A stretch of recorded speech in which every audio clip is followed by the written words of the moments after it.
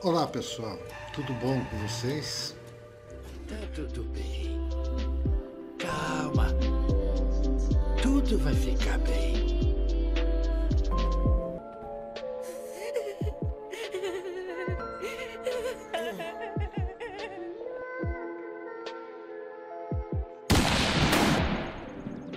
Jogador 1 eliminado. Na aula passada, nós falamos sobre formas de minerais. Na verdade, foram formas de biscoitos. Nesta aula, vamos oferecer mais um biscoito para vocês. Nós vamos falar sobre os sistemas cristalinos. Já aproveita e curte esse vídeo. Se você não está inscrito, se inscreva. Se você não quer se inscrever, no final do vídeo vou fazer uma outra proposta para vocês, que é uma brincadeira deste canal. E para quem já está inscrito, já estou dando logo de cara esse novo biscoitinho. Vamos ao vídeo então.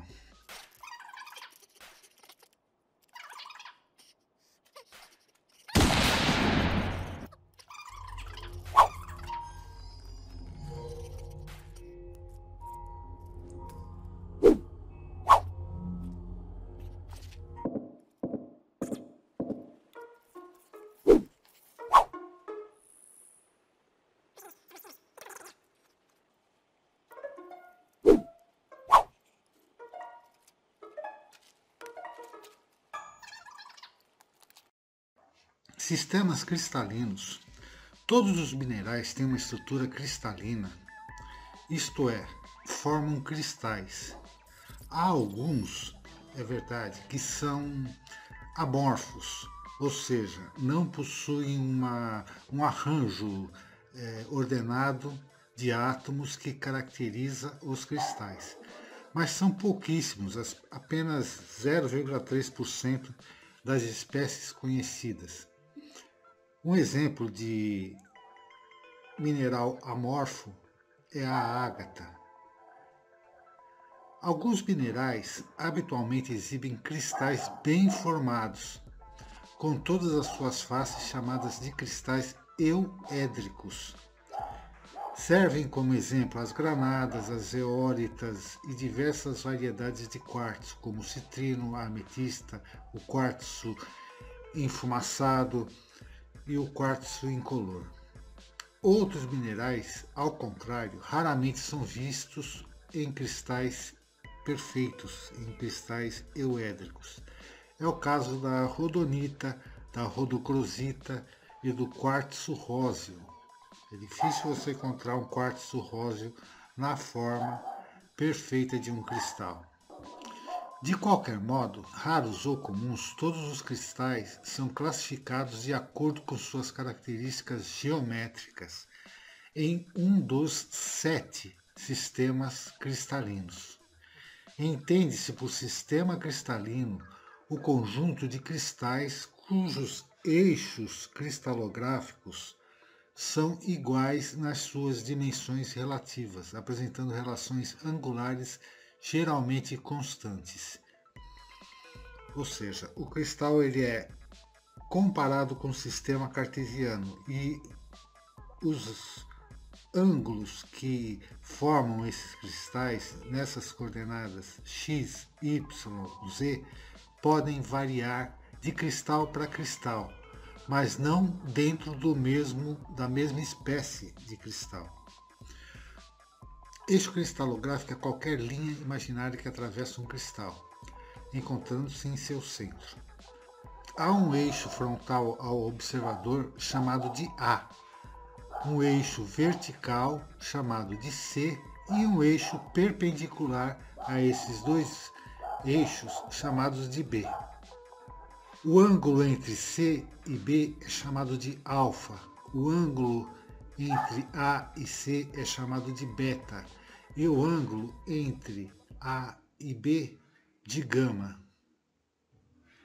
Os eixos cristalográficos servem como referência na descrição da estrutura e simetria dos cristais. Medindo suas dimensões relativas e os valores dos ângulos, pode-se determinar a qual sistema cristalino pertence o cristal. Por convenção, o eixo A é considerado positivo na porção anterior ao ponto de encontro com os outros eixos e negativo na porção posterior. O eixo B é positivo na porção à direita desse ponto e negativo à esquerda. E o eixo C é positivo acima do mesmo ponto e negativo abaixo daquele ponto.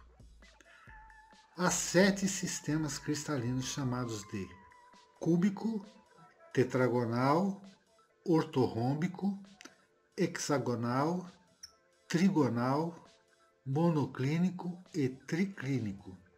Eles se subdividem em um total de 32 classes cristalinas. Nós não vamos entrar no detalhe das classes cristalinas, mas vamos entrar no detalhe desses sete sistemas.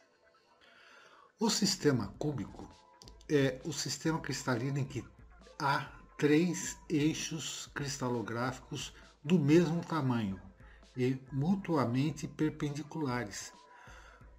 Como os três eixos têm o mesmo tamanho, os cristais desse sistema são equidimensionais, ou seja, têm as mesmas dimensões, equidimensionais, ou seja, não são nem alongados nem achatados. O fato de o sistema chamar-se cúbico não significa que os cristais todos têm a forma de um cubo.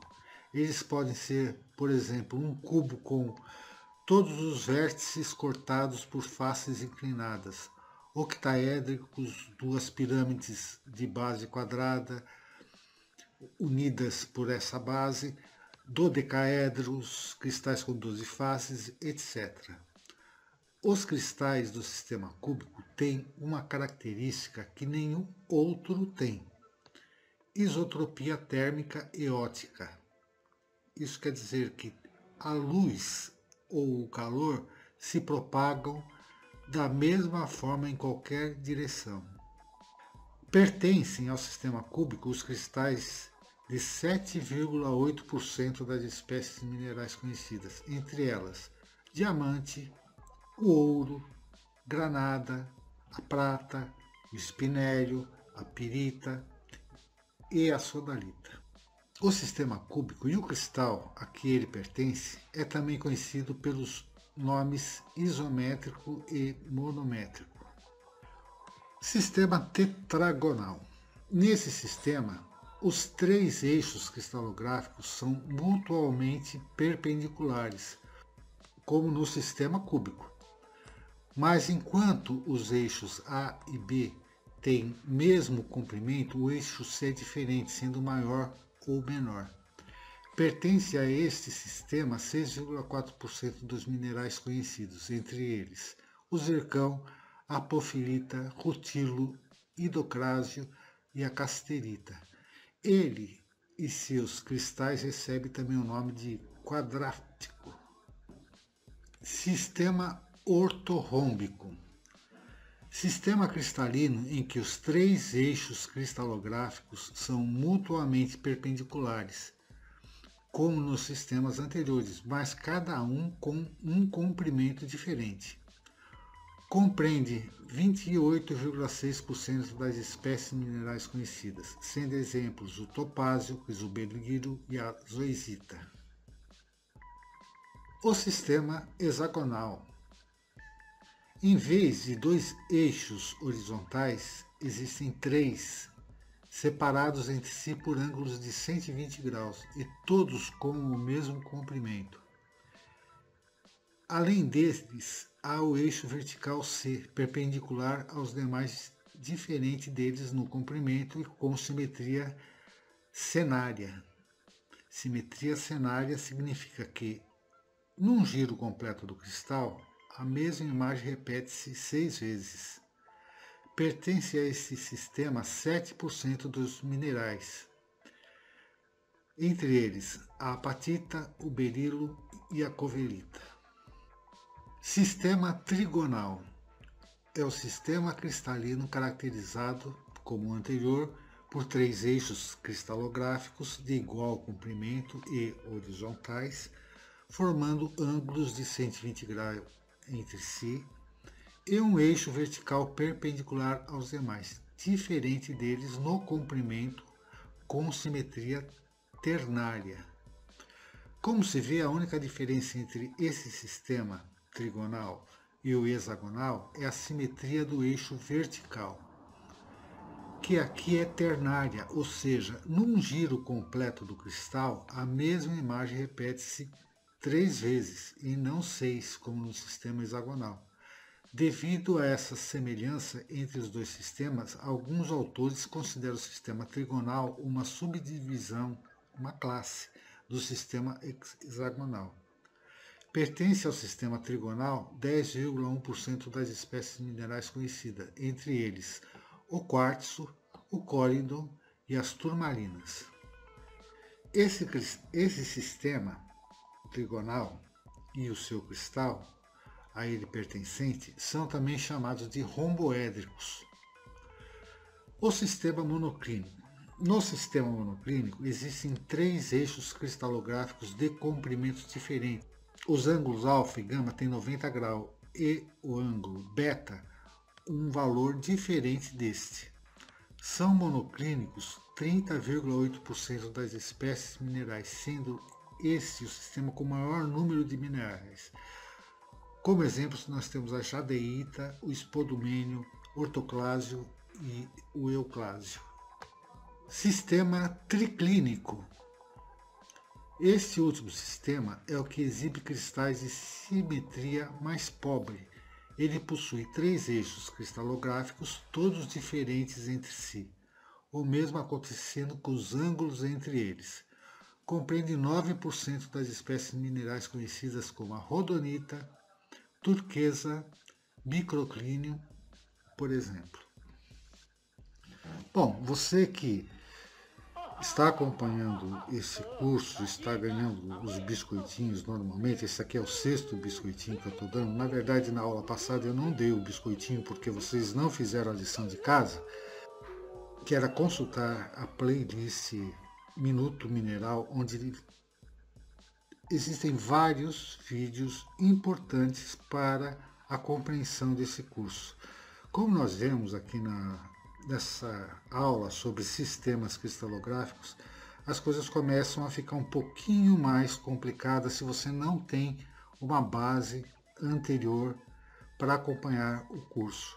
Então, eu recomendo novamente que as pessoas que queiram acompanhar esse curso e tirar proveito do que eu estou ensinando aqui, que assistam os vídeos do Minuto Mineral, principalmente os vídeos que referem-se aos testes em minerais. São vídeos curtos de um minuto e que são muito bem práticos e vai dar a você um conhecimento para poder acompanhar o que nós estamos conversando aqui. Hoje nós falamos sobre sistemas cristalográficos. Isso divide os minerais em sete sistemas diferentes e desses sistemas eles são divididos em outros outras classes. Então não vamos entrar no mérito das classes, nós vamos ficar somente na questão dos sistemas. Por que é importante entender que determinado mineral pertence a um determinado sistema? Bom, é importante pelo fato de que se você for fazer uma lapidação numa determinada pedra, você precisa saber quais que são os eixos que vão te proporcionar um brilho mais eficaz daquela pedra. Então não são todos os cortes que você irá fazer em sua lapidação que vai te dar um brilho excepcional para aquela pedra. Então, se você não sabe aonde você irá cortar, em qual eixo, em qual ângulo em relação a algum eixo que você vai fazer o corte, você vai estar estragando a sua pedra na lapidação. Então é por isso que é importante entender minimamente sobre uh, os sistemas cristalográficos. Se você já se inscreveu nesse canal, vai ganhar um biscoitinho. Não esqueça de deixar também o joinha, de fazer comentários. Se você não é inscrito, aproveite, se inscreva, acione o sininho para receber as notificações e eu vou te dar mais uma chance para fazer tudo isso. Então, se você não é inscrito, estará participando agora, nesse final de vídeo, da brincadeira Batatinha Frita 1, 2, 3.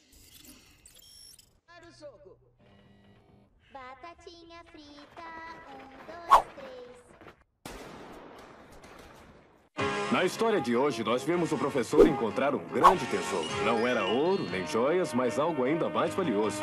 O conhecimento. Há muitos lugares onde se encontra o conhecimento, e um dos melhores e mais agradáveis é um museu. Os museus são verdadeiros depósitos de conhecimento onde podemos ver e apreciar coisas fascinantes. Há um perto de você e, portanto, vá visitá-lo. Lembre-se, conhecimento é força. E você pode ter a força também.